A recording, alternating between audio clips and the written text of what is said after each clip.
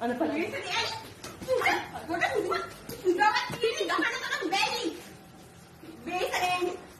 Era me te record kar record kar gan. Tu.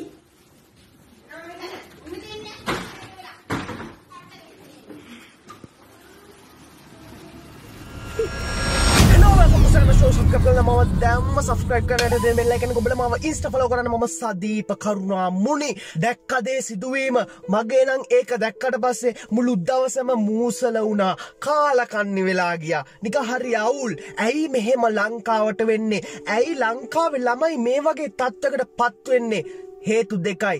එකක් කර්මය පිළිබඳව නිසි අවබෝධයක් නැතිකම සහ ආකල්ප සිතුවිලිවල වැද්ද. අනිත්‍යක තමයි මොකක් හෝ මානසික ලෙඩක් මානසික පීඩනයක් හරි වෙන මොනයම් හොල් ලෙඩක් තියෙනවා.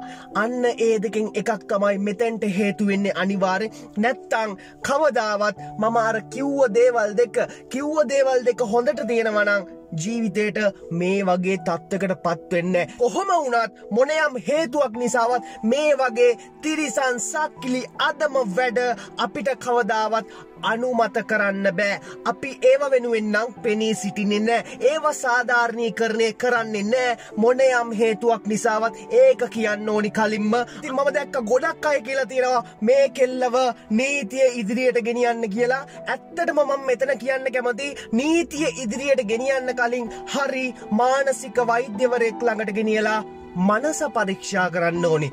කොතනද ඒ කෙල්ලට වැරදුනේ නැත්තං නීතිය ඉදිරියට ගිහිල්ලා ඕවට හරි සාධාරණයක් වෙන්න මොකද හදිස්සියවත් අපි කියමුකෝ අම්මට තාත්තට ගැහුව නිසා ප්‍රශ්නයක් දාලා උසාවිදාලා පොලිසින් උසාවිදාලා දැම්ම පුනරුත්තාපනේ පුනරුත්තාපනය කරලා හරි යනවද? පුනරුත්තාපනයට ගිල්ල හැදෙනවද? අපේ රටේ ඔය ප්‍රශ්න තියෙනවා. පුනරුත්තාපනයට ගිහිල්ලා අපරාධකාරයෙක්කෝ බාලවයස්කාර අපරාධකාරයෙක්කෝ මොකක් හරි දෙයක් කරපු කෙනෙක් හරියට හැදිලා එලියට එනවද? අහන්නේක අපේ රටේ පුනරුත්තාපනයට ගිය කෙනෙක් හරියට එලියට එනවද?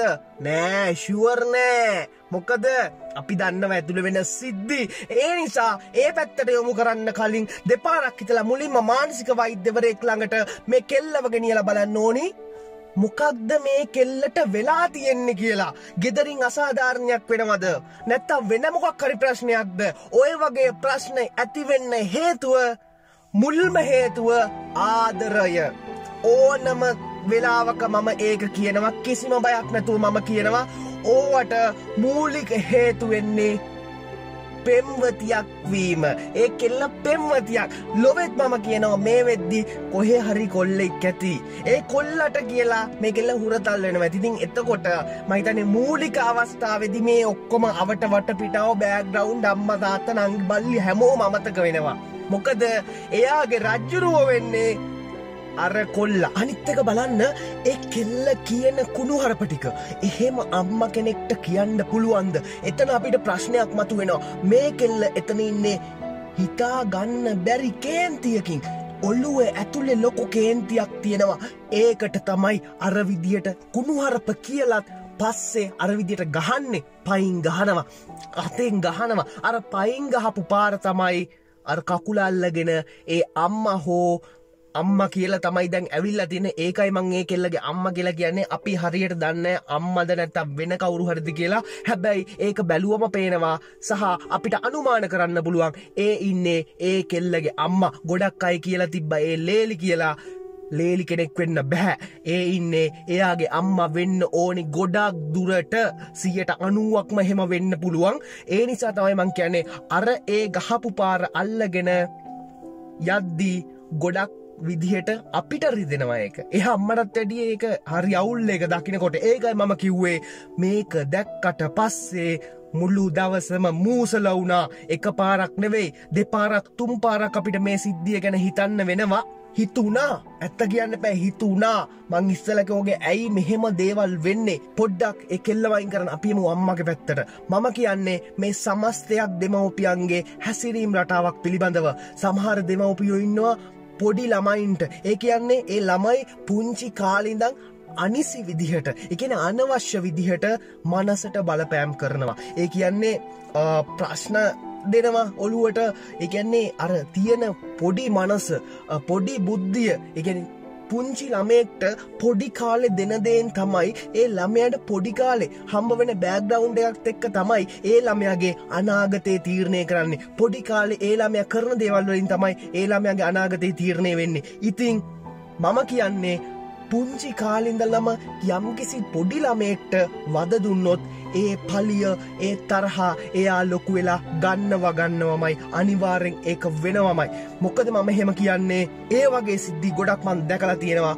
ගොඩක් යාලුව ඉන්නවා ඒ වගේ සිද්ධි වෙච්ච. ඉතිං තමන්ගේ ළමයට තමන්ගේ පුංචි ළමයින්ට අනවශ්‍ය විදිහට මානසිකව වද දෙනවන ඒ ළමයාගේ කුඩා කාලේ පුංචි කාලය පුංචි විදිහට ගත කරන්න දෙන්න ඇත්තං ඒ අම්මටයි තාත්තටයි අනිවාරෙන්ම ඉස්සරහදී පසු තැවෙන්න වෙනවා වෙනවාමයි. ඔය වගේ තත්ත්වලට මුහුණ දෙන්න වෙනවා වෙනවාමයි. මොකද ඒක කාටවත් නවත්තන්න බැහැ.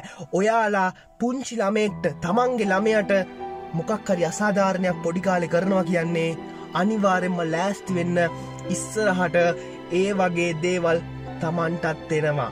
අනිවාරෙන් මෙනවා ඔය සමහරවිට ඒ වගේ ප්‍රතිඵල වෙන්න පුළුවන් අපි ඇත්ත කතා කරමු අපිට වහල කතා කරන්න දෙයක් නැහැ. ඇත්ත තමයි ඒක. ඕරු හරි අම්ම කෙනෙක් කෝතාත්ත කෙනෙක් අර පොංචි ළමයින්ට නැත්තල් තමන්ගේ ළමයට අනවශ්‍ය විදියට බයිනවන අනවශ්‍ය විදියට දඩුවන් කරනවනම් කවදාවත් යහමගට ඒළමය යයි කියලා හිතන්න යහමගට යයි. හැබැයි දෙමවපියොත් එක්ක වරදි. මොකද ලංකාවේ යහමගට යනවා කියන්නේ හොඳට ඉගෙන ගන්න එකනේ. හොඳට ඉගෙන ගත්තත් සමහත් ළමයි ඉන්නවා දෙමවපියන්ට සලකන්න තැනකට ගියාට පස්සේ අයින් කල්ලදානවා මොකද? අර පොඩිකාලෙ කරපු දේවල් තමන්ගේ හිතේ තියෙනවා.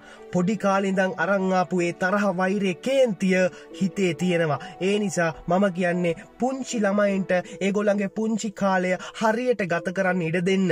නිකන් නීතිදාලා එගුළඟ රාමු කරන්න යන්න එපා රාමු කරපු ළමයි ලොකු වෙනකොට මොකද වෙන්නේ සමාජය ගැන තේරෙන් නැහැ. මොකදද කරන්න ඕනි කියල තේරෙන් නැහැ. ඒ ළම යන්න ඕනි පාරේ ළමයින්ට තේරෙන්නේ. තමන්ගේ යාලුවෝ හරියට මිනිස්සු ආශ්‍රය කරගෙන ඉස්සරාට යනව දැක්කම ඒ ළමයිට ඒළමන්ගේ පොඩි කාලින්දන් දෙමවපියොන් කරපු අසාධාරණය ළමයිට මතක් වෙනවා. කාව තාශ්‍රකන් දුන්න අපිව නීති දාලා හැදුවේ. අපිට එලියට බහින් දුන්නෑ ඔන්න ඔය වගේ එක එක සිතුවිලි ඇවිල්ලා අර දෙමවපියොත් එක්ක කේන්ති ඇවිස්සෙනවා. වෛරයක් හටගන්න අවුළුවේ ඒ නිසා ඒ වගේ දේවල් කරන්න එපා.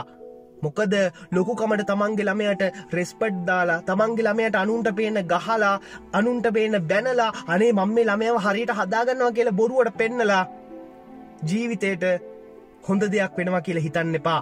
ඒකින් වෙන්නේ තමුන්ට කවදාරි එක පස්සෙන් එන එක? අනිවාරෙන්ම හැබැයි හැබැයි මොනයම් හේතුවක් මතවත් දෙමවපියන්ට අතිස්සීම අපිට සාධාරණී කරණය කරන්න බෑ. මොකද එහෙම කරොත් එහෙම මේ ලෝකෙත් ඒක පල දෙනවා. මැරුණට පස්ස යන ලෝකෙකත් ඒ අනිවාරෙන් පල දෙනවා. ඒක තමයි අපේ ආගමේ නීතිය. කද දෙමවපියෝ මොනව කරත් අපිට අයිතියක් නෑ. එයාලට දඩුවන් කරන්න. ඒක හොඳට මතකතියාගන්න ඕනි හැමෝම. අපිට මේ සිද්ධිය දැකළ ඒ කෙල්ලව කොයිම වෙලාවකොත් සාධාරණී කරණය කරන්නවත් ඒ තිරිසං කෙල්ලවා ඒ සක්කිලි කෙල්ලව හොඳ කෙල්ලෙක් කරන්නවත් අපිට බෑ. කෙල්ලෙක් පාරක ගියොත් ගියාමයි. මම හැමදාම එක කියනවා. කෙල්ලෙක් පාරක ගියොත් ගියාමයි ඒ කෙල්ලව හදන්න කාටවත් බෑ. මොන සක්කරයටවත් බෑ ඒ කෙල්ලව හදන්න.